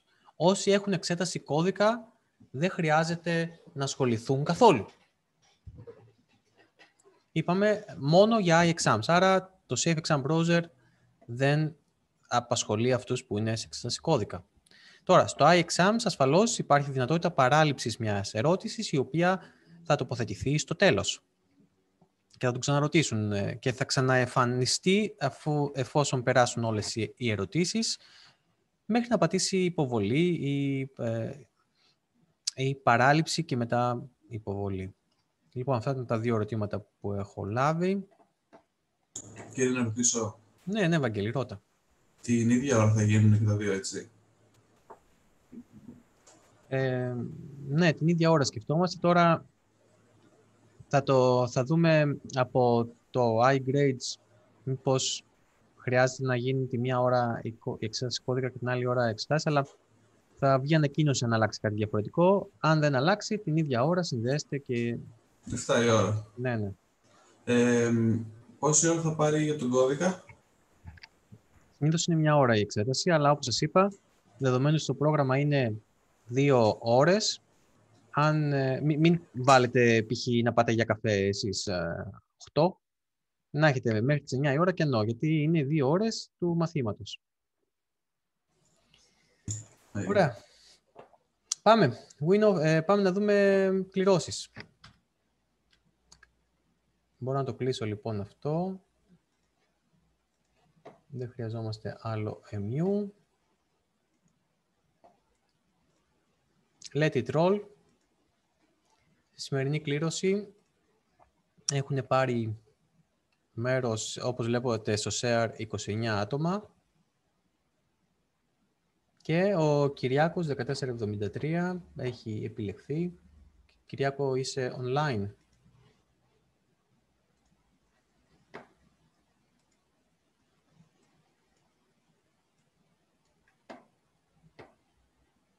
Κυριάκος εδώ, εντάξει, ωραία. Λοιπόν,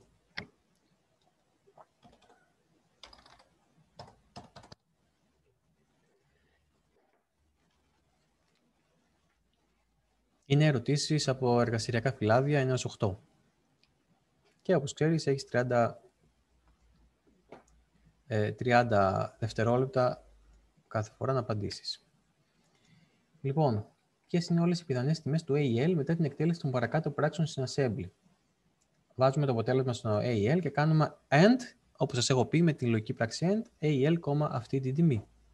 Και ε, ξεκινάει ο χρόνος τώρα επιλογές 1, 1 ε, έως α έως ε ή pass ή public.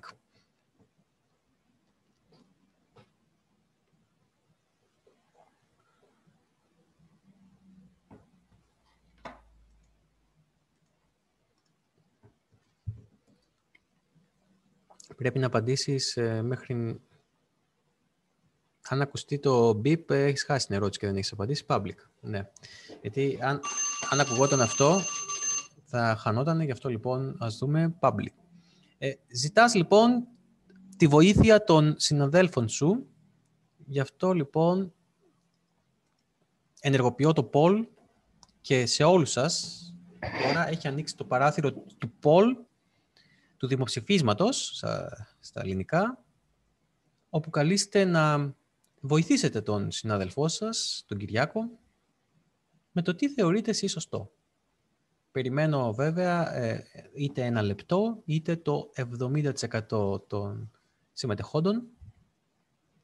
Οπότε να δούμε το σώμα των φοιτητών τι θα αποφανθεί για αυτή την ερώτηση που έχει θέσει το σύστημα.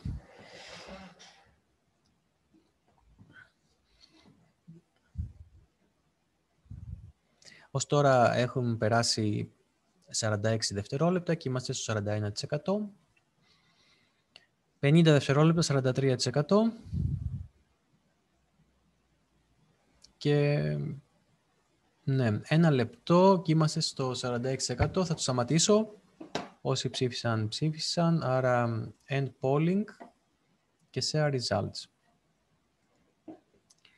Βλέπεις, ε, λοιπόν, ανοίξω και με MS Paint για το δουν και άλλοι.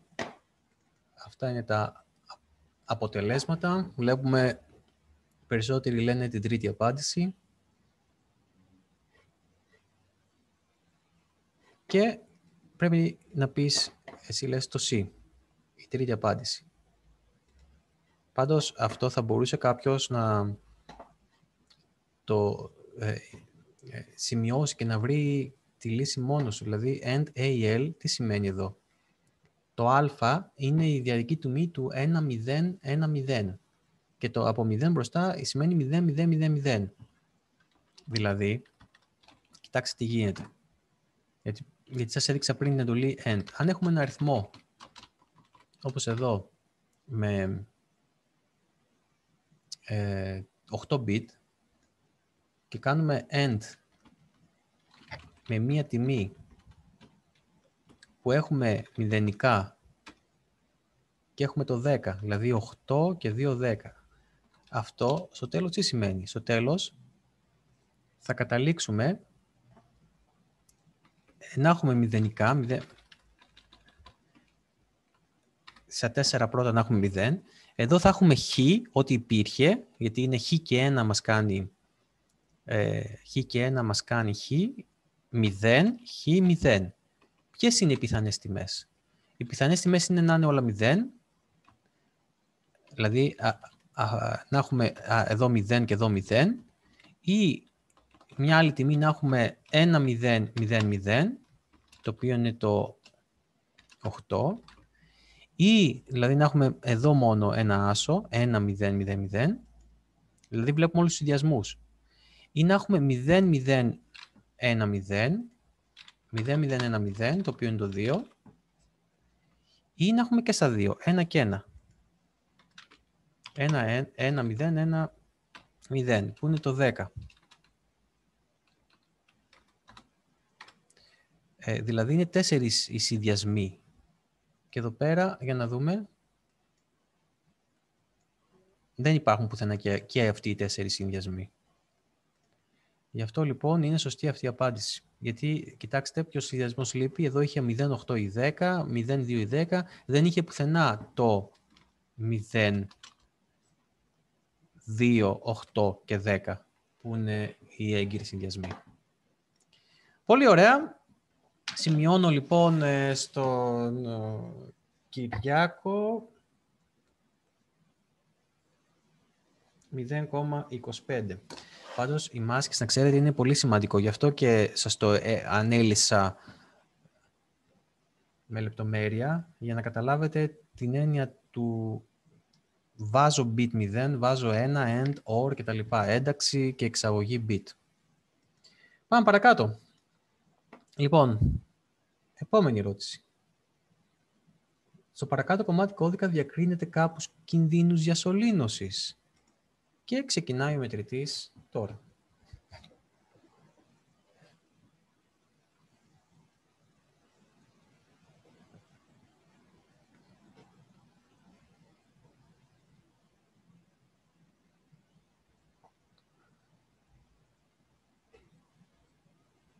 Αυτές είναι και ερωτήσεις που θα εμφανιστούν αύριο στο iExams, να ξέρετε. Ωραία. Ε, ο Κυριάκος ζητάει να πάμε στην επόμενη ερώτηση, άρα Κυριάκο έχεις 0,50 με δύο ερωτήσεις ε, ως την ώρα. Πάμε τρίτη ερώτηση. Ε, παράληψη λοιπόν και πάμε στην τρίτη ερώτηση. Ένα πρόγραμμα σε assembly χρησιμοποιείς τις παρακάτω συναρτήσεις.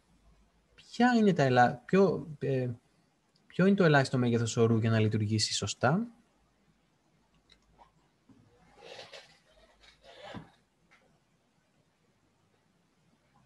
Πρέπει να σκεφτούμε ότι οι συναρτήσεις απαιτούν σωρό και πώς διαμορφώνεται ο σωρός ανάλογα με τις κλήσεις των συναρτήσεων.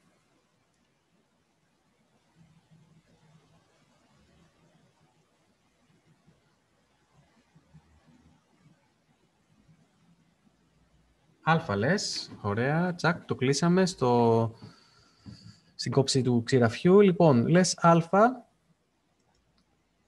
α. Για να δω λίγο. ξέρουμε ότι κάθε συνάρτηση, όταν την καλούμε, εφόσον είναι στο ίδιο τμήμα, αποθηκεύονται ε, 2 byte στο σωρό. Επίσης, δηλαδή εδώ ας πούμε που θα κάνουμε call, έχει 2 byte στο σωρό. Βλέπετε εδώ πέρα και κάθε φορά που κάνουμε push έχουμε και πάλι 2 byte στο σωρό. Οπότε κάποιος θα μπορούσε να πει 2 byte από εδώ και 2 byte από εδώ. Έχουμε 4 byte. Στη συνέχεια έχω call, άρα συν 2 byte πάω 6 byte. Άρα αυτό θα ήθελε 6 byte. Βέβαια, όπως θα διαπιστώσεις, η απάντηση α δεν είναι σωστή. Γιατί; Γιατί αυτή η συνάρτηση καλείται από ένα άλλο πρόγραμμα, από ένα main. Οπότε χρειάζονται και τα byte στην, όπου θα τοποθετήσουμε ε, τα άλλα. Δεν είναι μόνο 6 byte λοιπόν. Και επίσης εδώ που έχουμε το interrupt, το interrupt είναι συνάρτηση. Είναι κλίση συνάρτησης και μάλιστα είναι κλίση διατμηματική συνάρτηση σε άλλο τμήμα, όχι στο ίδιο τμήμα. Είναι στο, ε, το interrupt είναι μια συνάρτηση που βρίσκεται στο λειτουργικό σύστημα, σε μια τελείως διαφορετική περιοχή, σε ένα άλλο code segment. Άρα εδώ είναι συν 2 byte όταν βλέπουμε interrupt. Άρα λοιπόν έχουμε γι' αυτό έχουμε 2 συν 2, 4. Ε, συν την κλίση 6, συν 4 ε, byte από εδώ πέρα 10.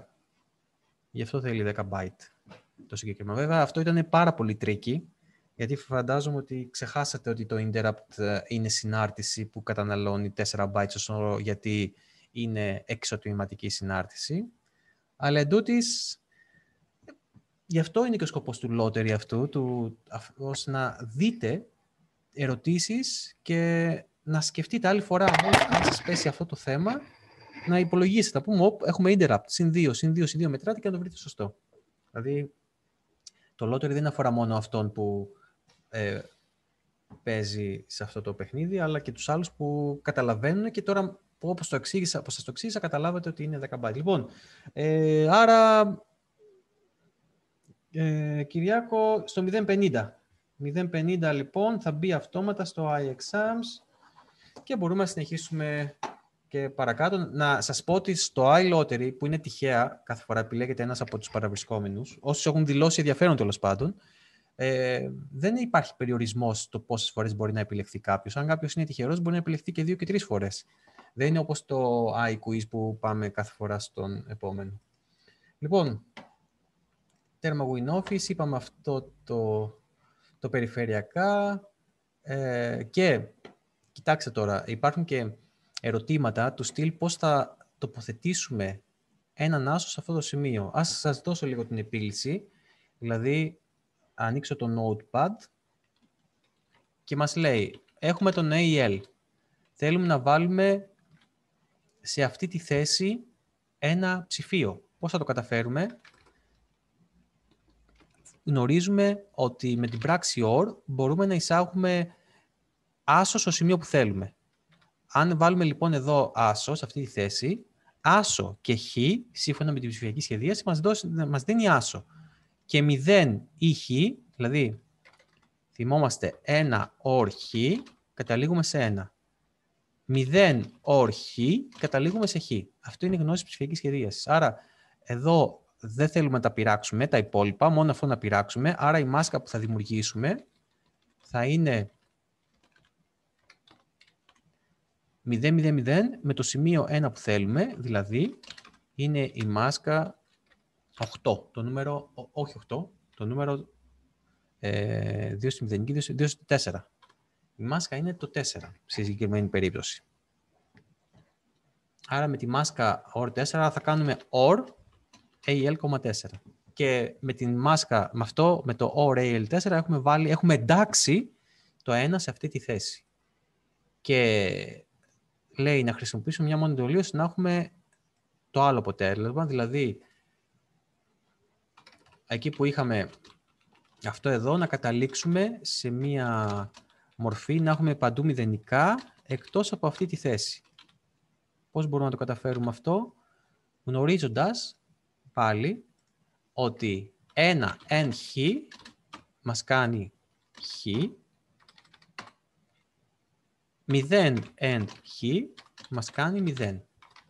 Άρα θα χρησιμοποιήσουμε την πράξη αυτή, 0 εν χ, και θα βάλουμε σε αυτό το σημείο, αν βάλω 1 και όλα τα άλλα μηδενικά, και αυτή είναι η πράξη end,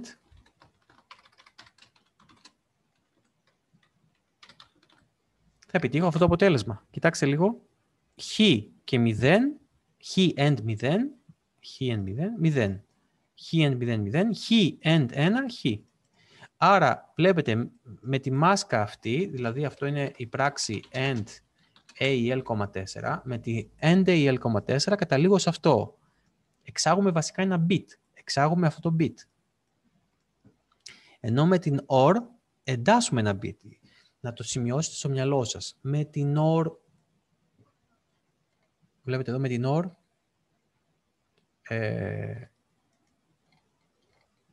με την OR εισάγουμε, βλέπετε εδώ πέρα, με την OR εισάγουμε ένα bit, βάλαμε το 1, εισάγουμε δηλαδή το 1 συνήθως, ε, ναι, δεν θα εισάγουμε δεν το 1 εισάγουμε, με, το, με την OR εισάγουμε το bit 1, ενώ με την AND εξάγουμε ένα bit, δηλαδή από όλα αυτά τα bit που είχε, εξάγαμε το συγκεκριμένο bit, που είναι σε αυτή τη θέση.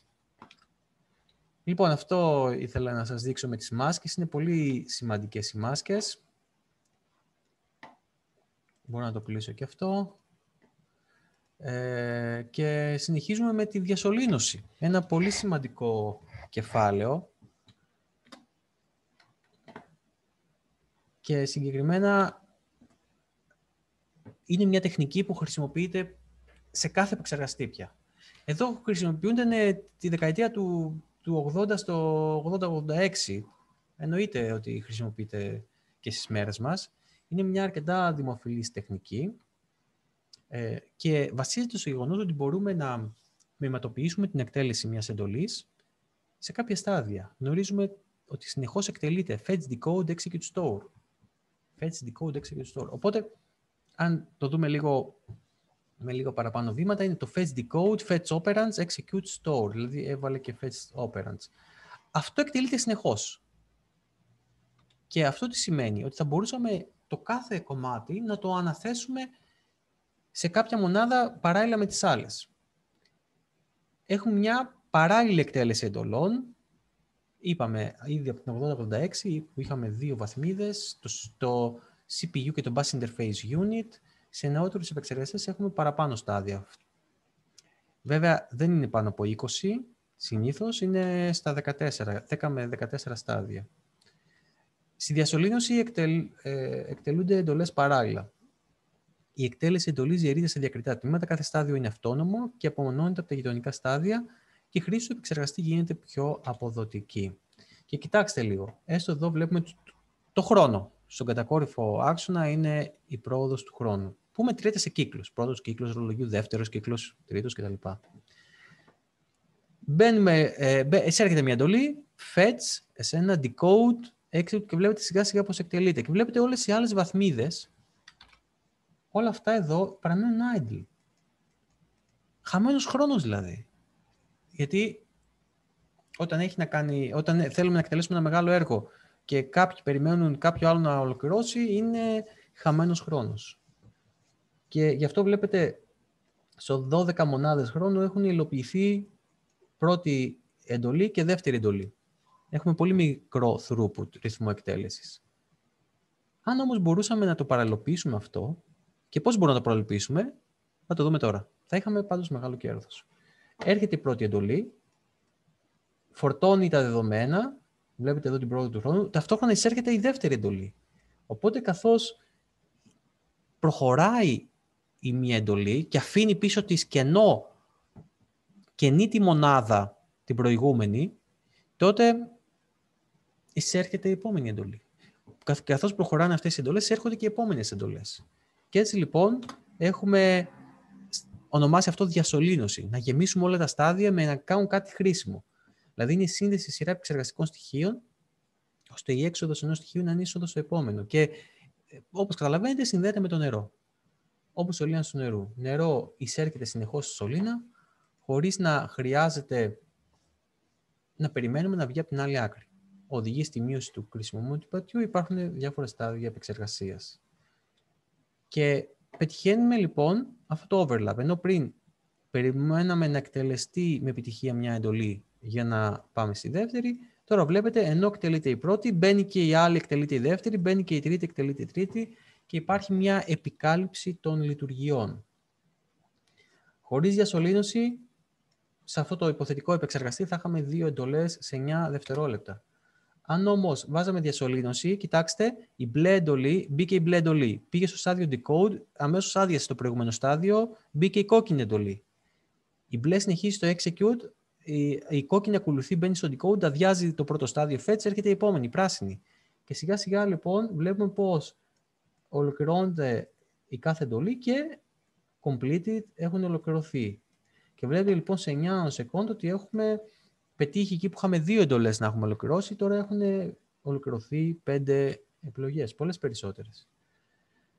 Κάποια νούμερα, ο Prescott είχε 30 επίπεδα διασωλήνωσης, όμως είναι overkill και υπάρχουν μεγάλα προβλήματα, γι' αυτό δεν έχουμε συνήθως πάνω από 20 επίπεδα διασωλήνωσης. Όπως βλέπετε εδώ, ο J7 είναι Halem, στα 14 επίπεδα είναι. Πού βασίζεται, είπαμε, Face Decode Execute Store και συνδέεται και ιδέα με την αυτοβιομηχανία.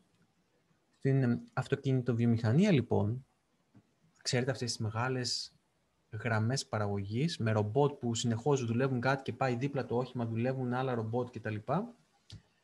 Ε, πήραν από εκεί την ιδέα. Έχουμε διάφορα στάδια. Κατασκευή του πλαισίου, στάδιο 1, τοποθέτηση του κινητήρα, τοποθέτηση περιφερειακών και ούτω καθεξής. Αυτό λοιπόν μάλιστα μπορούσε να υλοποιηθεί και σε υποστάδια. Δηλαδή, εκτός από τα βασικά στάδια, έχουμε το 1α πλήρωμα τοποθέτηση των εξαρτημάτων, το 1 πλήρη συγκόλληση κτλ. Δηλαδή, το στάδιο χωρίζεται σε υποστάδια. Γι' αυτό κάποιος που θα ρωτούσε πώς μπορούμε, ενώ έχουμε τέσσερα βασικά στάδια, fetch, decode, execute, store, να έχουμε 20 επίπεδα διασωλήνωσης. Αν τα χωρίσουμε σε πολύ μικρά κομμάτια, δηλαδή δεν είναι ακριβώς fetch, fetch πρώτο κομμάτι, fetch ενώ πρώτο κομμάτι του κύκλου, που αυτό που πρέπει να εκτελέσει. Fetch δεύτερο κομμάτι, fetch τρίτο κομμάτι. Μπορούμε λοιπόν να αυξήσουμε έτσι τα στάδια διασωλήνωσης. Και ασφαλώς όσο μειώνουμε το στάδιο, το χρόνο εκτέλεσης, ε, τόσο θα πρέπει να προσέξουμε το εξής. Θα πρέπει να διασφαλίσουμε ότι όλα τα στάδια ολοκληρώνουν το έργο τους μέσα στο συγκεκριμένο χρονικό διάστημα. Δηλαδή, σε, αν πούμε ότι θα έχουμε χρόνο σταδίου 1 second με τέσσερα στάδια, τότε πρέπει να διασφαλίσουμε, να φροντίσουμε ότι σε κάθε περίπτωση μέσα σε ένα second το, όλα τα στάδια έχουν ολοκληρώσει το έργο τους. Ώστε να πάμε όλοι μαζί κλικ στο διπλανό στάδιο. Αν θέλουμε να διπλασιάσουμε τα στάδια, μπορούμε να τα χωρίσουμε στη μέση και να πούμε να έχουμε 8 στάδια με χρόνο σταδίου μισό second. Άρα θα αυξήσει το, το throughput του συστήματος. Και υπάρχει όμως ένα όριο. Δεν μπορούμε συνεχώς να μειώνουμε το χρόνο εκτέλεσης, γιατί υπάρχουν κάποιες λειτουργίες που όσο και να θέλουμε να τις μειώσουμε, δεν μπορούμε να το κάνουμε. Γι' αυτό λοιπόν υπάρχει ένα όριο στα πόσα στάδια μπορούμε να βάλουμε. Δεν μπορούμε να, να αυξάνουμε συνεχώς τον αριθμό των σταδίων. Βλέπετε εδώ, χρόνος ολοκλήρωσης κάθε εντολής κάθε μισό ανασεκόντ. Σε 4, σε 4 ανασεκόντ έχουμε μία ολοκληρωμένη εντολή ε, και όσο το αυξάνουμε, αυξάνονται και οι εντολές. Ας δούμε το δομικό διάγραμμα του MIPS. Αυτό θα πρέπει να, το, να μπορείτε να το κατανοήσετε. Εδώ είναι program counter, ο οποίος κάθε φορά δείχνει στην επόμενη εντολή προς εκτέλεση που βρίσκεται στο instruction memory και η instruction memory εξάγει την εντολή σύμφωνα με τη διεύθυνση που θα δώσει ο program counter και εισέρχεται στο instruction register. Ο οποίος instruction register συνέχεια συνδέεται με τους καταχωρητές. Αυτή είναι η στοιχεία καταχωρητών, το register file, όπου βρίσκονται συνήθως δύο operands και με τους πολυπλέκτες είτε επιλέγεται, όπως βλέπετε, ο operand που θα δώσουμε από το register file, είτε ο πολυπλέκτης επιλέγει τιμή του program count. Και γιατί το κάνει αυτό, γιατί μερικές φορές θέλουμε να κάνουμε ένα conditional branch. Ενώ η άλλη είσοδος του MOOCs είτε επιλέγεται ο αριθμός β, είτε επιλέγεται με sign extension ε, ένας άλλος καταχωρητής. Γίνεται η πράξη ALU, η έξοδος της ALU αποθηκεύεται στο data memory και επίσης ε, ενημερώνεται και το zero, δηλαδή αν έχουμε κάποια ε, ισοδυναμία αποτελεσμάτων, conditional register, πάλι εδώ έχουμε MOOCs.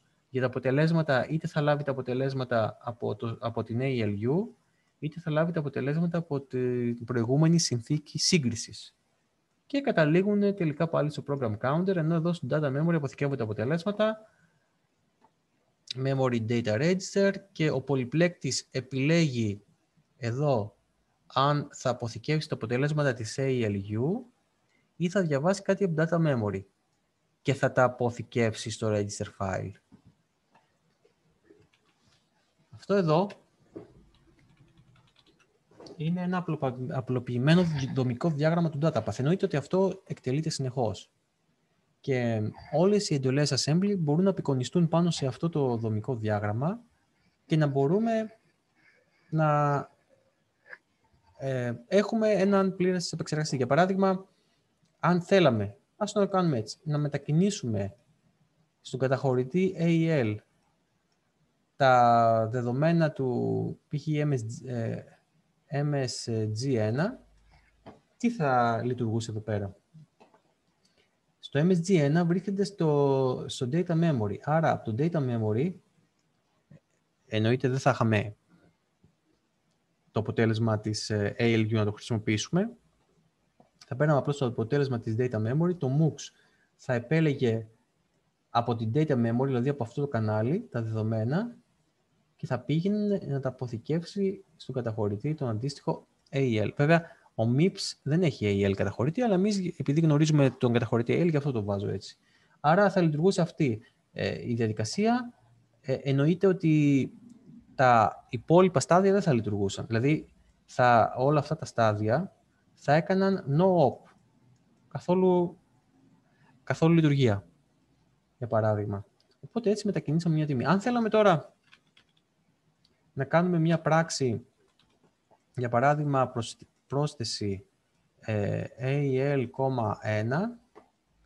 τι θα έπρεπε να κάνουμε; Θα έπρεπε ε, αυτός ο αριθμός να θα βρίσκεται στο data memory μάλλον, από το data memory μέσω του MOOCs να έρθει σε έναν ε, προσωρινό καταχωρητή και μετά να μπει στο Β, για παράδειγμα, και ο AEL που θα είναι από το αρχείο του καταχωρητού να μπει στο Α, να επιλεχτεί αυτό το κανάλι, να επιτευχθεί αυτό το κανάλι, να επιτευχθεί η λειτουργία της πρόσθεσης ALU και στη συνέχεια να αποθηκευτεί πάλι στη, στο AL.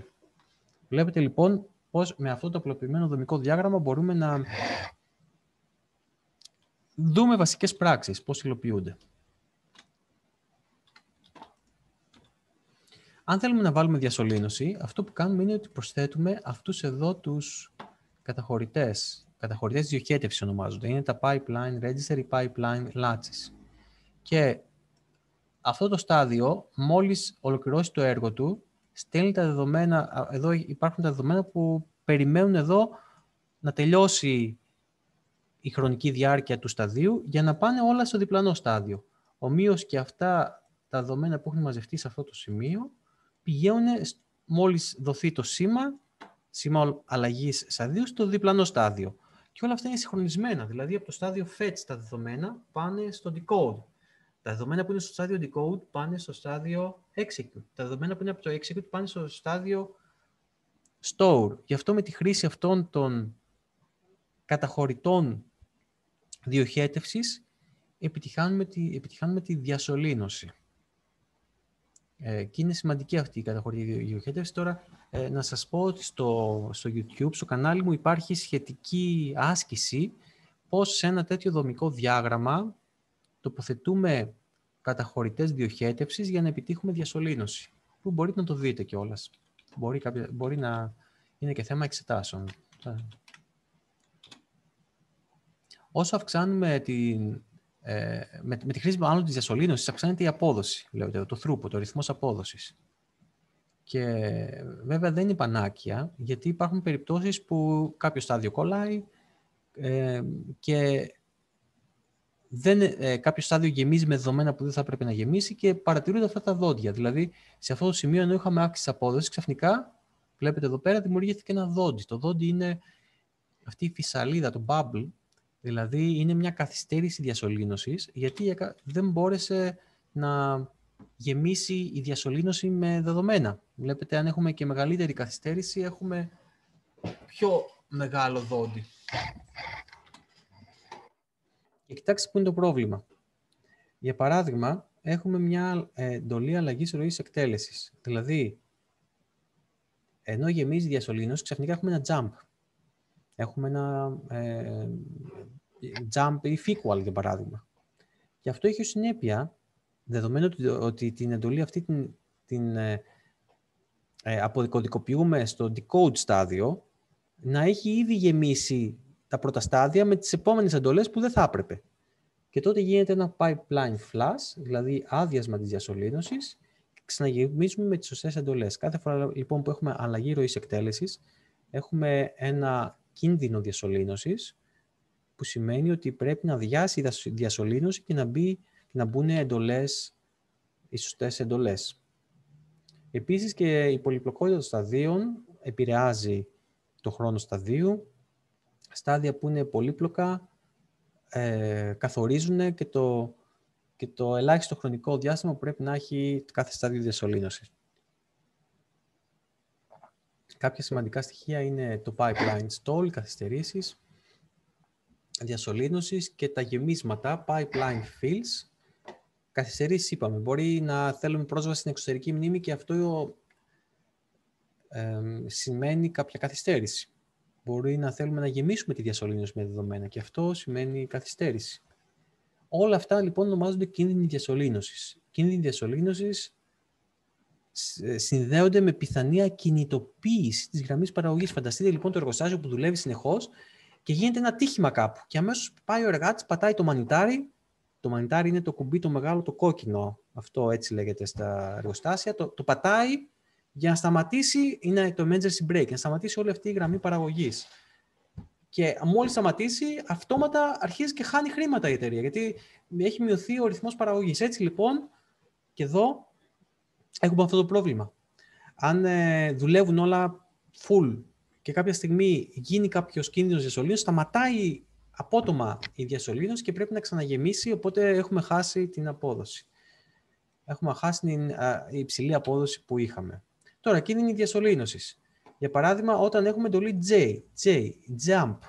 Δηλαδή εδώ η διασωλήνωση θα φόρτωνε τις εντολές που βρίσκονται μετά το jump, ενώ εδώ το jump τελικά μας στέλνει σε ένα άλλο σημείο. Και αυτό έχει ως συνέπεια τελικά να διαγράψουμε τις εντολές που έχουμε φορτώσει η διασωλήνωση και να αρχίζουμε να φορτώνουμε τις εντολές από το καινούριο κομμάτι κώδικα.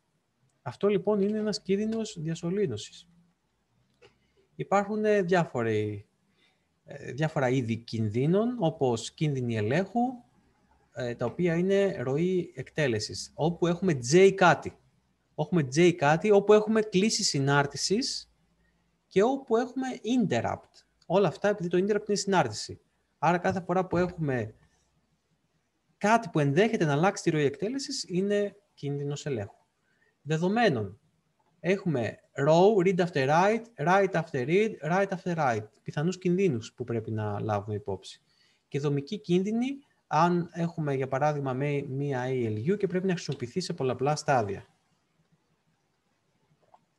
Εδώ έχουμε jump, είναι κίνδυνος, κίνδυνος διασωλήνωσης.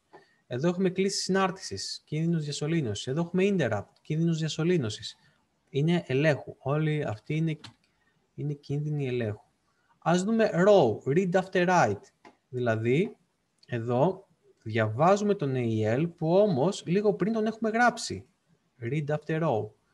Εδώ γράφουμε στον VTL που πριν από λίγο τον έχουμε διαβάσει. Write after read. Εδώ γράφουμε στον AEL και εδώ γράφουμε στον AEL ξανά. Write after write. Αυτή είναι κίνδυνη διασωλήνωσης και θα πρέπει σαν αρχιτέκτονες να λάβουμε κατάλληλα μέτρα ώστε να μην προκαλέσουν πρόβλημα. Και αναλύονται συνέχεια όλοι αυτοί οι κίνδυνοι, παραδείγματα δομικών κινδύνων και πώς αντιμετωπίζονται. Για παράδειγμα, μπορεί να χρησιμοποιηθεί η τεχνική της προώθησης, όπου τα αποτελέσματα βλέπετε από αυτό το στάδιο, βλέπετε εδώ έχει μονοπάτι προώθησης α, γυρίζουν σε ένα πολυπλέκτη, ώστε να μην χρειαστεί να πάνε μέχρι το τελευταίο στάδιο Face Code Execute Store στο store για να τα ε, λάβουμε υπόψη. Άρα και για να μην καθυστερήσει η διασωλήνωση, αμέσως μόλις παραχθούν, μπορεί στην επόμενη εντολή να τα χρειαζόμαστε. Με το μονοπάτι λοιπόν αυτό προώθησης, που είναι μια έξτρα προσθήκη, βλέπετε τώρα ο MOOX εκεί που είχε δύο κανάλια, έχει τέσσερα κανάλια, τέσσερις γραμμέ επιλογής δεδομένων εισόδου, μας επιτρέπει με ένα μονοπάτι προώθησης από το MEM-EX. Αυτό είναι ο τρόπος που χαρακτηρίζουμε τους καταχωρητές διασωλήνους, δηλαδή είναι ανάμεσα στο στάδιο memory και στο στάδιο εκτέλεσης κώδικα. Γιατί από, αυτή, από εδώ είναι το execute στάδιο, από εδώ είναι το mem στάδιο, οπότε αυτός ο καταχωρητής είναι ο exmem ή memex, το ίδιο είναι. Επίσης έχουμε και ένα μονοπάτι προώθηση από αυτό το σημείο εδώ βλέπετε. Είδατε, άρα από κάθε καταχωρητή διασωλήνωση μπορούμε να πάρουμε μονοπάτι πρόθεση και σαν shortcut και να στείλουμε τα δεδομένα πίσω και να μην χρειάζεται να περιμένουμε να τελειώσει όλος ο κύκλος της διασωλήνωσης για να λάβουμε γνώση των δεδομένων. Διάφοροι λοιπόν ε, τρόποι ε, για αυτούς τους κινδύνους διασωλήνωσης ε, και υπάρχει και το simultaneous multithreading όπου επιτρέπει έναν επεξεργαστή να, φέρεται, να φαίνεται ως δύο επεξεργαστές γιατί διπλασιάζει το πρώτο κομμάτι που είναι το fetch, fetch κομμάτι. Βέβαια, τα υπόλοιπα λειτουργικά κομμάτια παραμένουν τα ίδια, αλλά εντούτοις δίνει ένα boost. Γι' αυτό λοιπόν ένας επεξεργαστής φαίνεται ότι είναι δύο επεξεργαστές, ότι έχει δύο ροές ε, εκτέλεσης. Λοιπόν, σε αυτό το σημείο τέλειωσε αυτή η διάλεξη. Θα ανοίξω το iQuiz καλείστε μέσα στα ε, επόμενα 30 δευτερόλεπτα που θα ανοίξω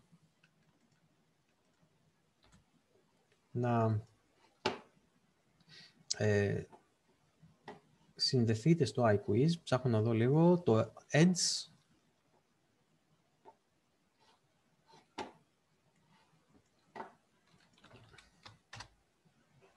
Συνδεθείτε λοιπόν στο ARC. Και iQuiz. Είναι 10 ερωτήσεις θεωρίας από το 1 έως και 7. Ας βάλω 15 σεκόντ. Και είμαστε έτοιμοι λοιπόν. 30 δευτερόλεπτα θα έχετε από τη στιγμή που θα ξεκινήσει η καταγραφή. Ξεκινάει. Οπ, έχετε μπει κιόλας. Ε, μόλις πάει και 15, αυτός ο μετρητής θα ξεκινήσει. Εν τω μεταξύ, η καταγραφή θα σταματήσει ε, εν ευθέτω χρόνο. δοκιμάστε το MPS. Σας έχω στείλει ένα free iExams σε επαρχείο για όσους, ε, όσους, ε, για όσοι θελήσουν να εξεταστούν στο iExams, όσοι εξεταστούν στο iExams μάλλον. Δοκιμάστε το και αν έχετε πρόβλημα ενημερώστε με. Λοιπόν, ξεκινάει η εξέταση. Πάμε, πέρασαν 30 δευτερόλεπτα. Κλείνω την καταγραφή. Παραμένω βέβαια στο κανάλι μαζί σας.